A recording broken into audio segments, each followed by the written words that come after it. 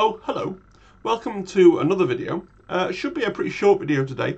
I just want to talk about the Miniature of the Month promotion, which I know that you know about, and I thought I knew about, and why it's quite exciting now, and what it could mean for Kill Team next month. So, Games Workshop runs this Miniatures of the Month competition. Um, it's run for a long, long time, alongside their coin promotion. So, if you go to Games Workshop, as in a Games Workshop or Warhammer store physically in the real world, and you spend £60 every month, you get a coin, a different coin, you put them in a nice little folder. Fair enough. Understand that. You can also get a free miniature. You don't have to spend £60 to get the free miniature. You just can have the free miniature for turning up on the day before they run out.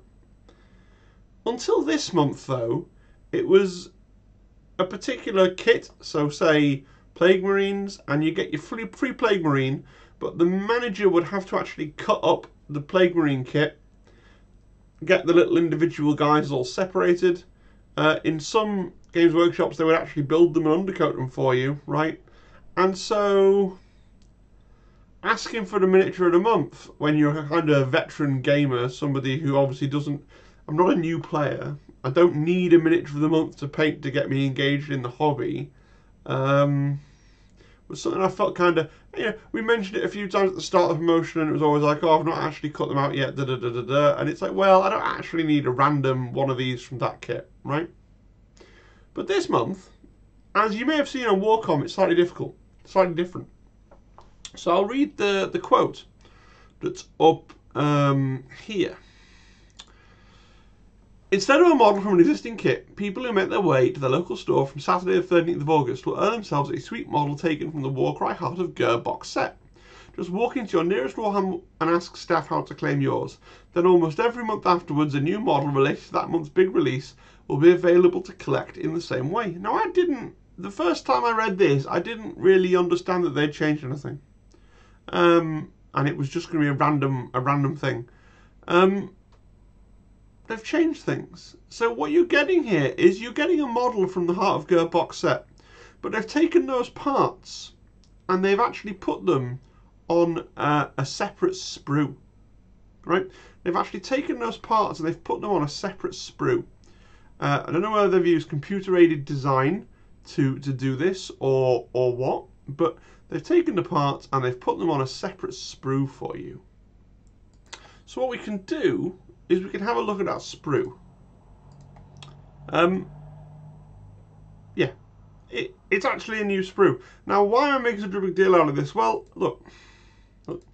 So they've taken parts from the existing kit and they've put it on a little promotional sprue. So first of all, this means that your local GWs like to have loads of these just lying around to give out. But secondly, I went and looked on, on our Warhammer instructions, which is a great subreddit, by the way, where people just share photographed copies of instructions and I tracked down because at first I wondered, is this an entirely new model that you don't get in the Heart of Ghur?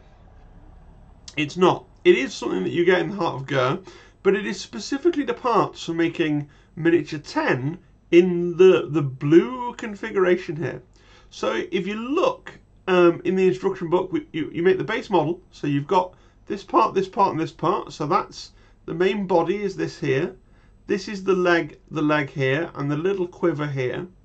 And then you only get the parts to make the blue configuration. So you get these three parts here, one, two, three. You don't get the parts for making the, the guy with the longer weapon and the shield. I don't play um, Rotmire got no idea what these weapons are called. But my point is, I then started thinking straight away, hang on. What if next month Into the Dark comes out and the miniature of the month is from that set? Right?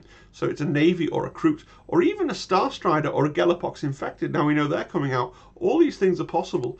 Taken out of its existing sprue and put onto a new sprue on a new die. Like, if you ask me, is Games Workshop going to actually commission promotional um, promotional molds for all these individual models? I would have said no, but look, they've done it. They've done it. It's absolutely bonkers as a a financial decision that they've made. It must have cost them a lot to get this separate little, you know, yeah, they've copy and pasted on the digital software the actual parts, but they've had to get a new steel die made just for these promotional little bits. Now I know it's a small sprue, so it'll be like an insert into a bigger die, and that makes it cheaper. But even so, um, so if you bought Heart of Ghur, I didn't, but I assume you get enough parts to make one version of Miniature 10. So you've got to choose: do I want the blue, the two hand weapons, or do I want hand weapon and shield? Well, maybe you wanted both, and now you've got the option of going to Games Workshop and picking up the extra two hand weapon guy. I can see them. We know. Look, I was reviewing the the Gallowdark stuff the other day, and I said, "Oh, look, people are going to want a fourth um, medium, normal human-sized mutant. What if the miniature of the month next month is a Gellerpox mutant? It could be, right? They have shown a willingness to re-sprue them and put them on a single sprue.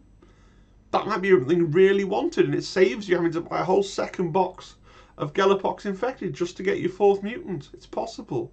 It could be a Navy guy that, you know, previously you would have had to go and get a second box to get that extra guy. It could be it could be something completely bobbins. It could be an extra vanilla trooper that can only be built as a vanilla trooper. But even then, you'd be getting your hands on it potentially before the release. So I thought as kill team players, we needed to know that it might come up. Now, someone on my Discord did say to me as I was kind of getting in, uh, talking about this, maybe it'll be squats in September. But even if that, you know, even if that's the case, we know that squats look like they're going to be getting some kind of white dwarf kill team. They look really kill teamy. Maybe it's worth picking up the extra squat, given that they're nice little figures like this on separate little sprues, and they're going to make things which, yes, they're included in the box, but they may not include enough to make both versions. I thought it was, I thought it was interesting. So, final thoughts. You can see I've built my guy up here. Um, you know, built my Rotmire Creed man. I may or may not paint it. I hope people get the um, I hope people get joy out of going and getting a free a free model. Um, obviously, Games Workshop stores are interesting. They are a corporation, but um, the managers have a lot of leeway in how their local store is run. My local store is doing a painting competition with these, so if I paint this guy up and bring him back on, I think the 3rd of September, I can go into a free painting competition.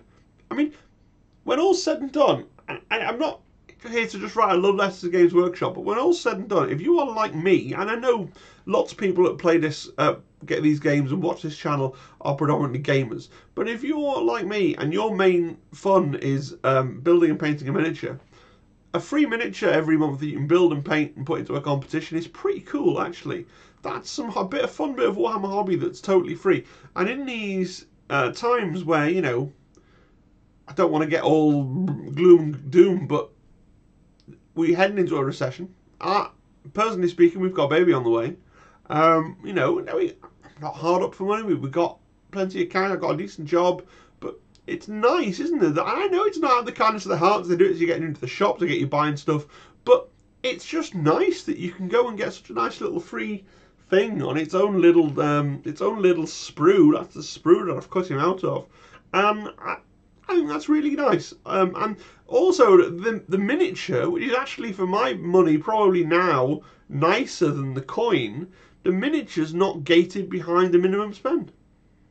So as far as that, it's, it's going to vary from manager to manager, right? Um, but my, in theory, I think you can probably turn up to the shop, not buy anything, and just say, "Oh, I'm here for the miniature of the month," and they should pass one over to you. I realise I'm going to get comments because in in some nations it's not as simple as just popping into your local Warhammer store.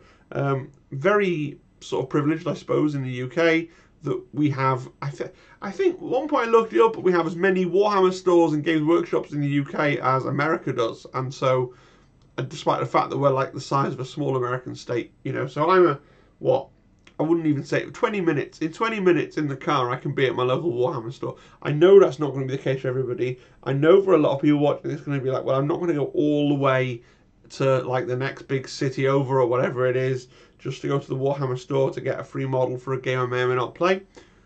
But if you're aware, it's something that you can make the decision on. Right, I felt I'd make it a I make a video just so people who, like I did, maybe missed the first time round that Warhammer community article had come out and it had um, said, you know, it hadn't actually spelled out. If, if they'd shown you the sprue, it would have been a far bigger. It would have been far more impactful, I think, to basically say, look, everybody's going to get a miniature. It's going to be a really nice miniature. It's not going to be just like a thing from a random existing kit that's all been cut out. Okay. All right. Hope you enjoyed the video. Uh, hopefully, the video I'm making tomorrow is reacting to the fact that the uh, the, the Kill Team's just got on Sunday preview. Fingers and toes crossed for that one. But until next time, I hope you have an excellent day, whatever it is that you are doing. Uh, cheerio, folks.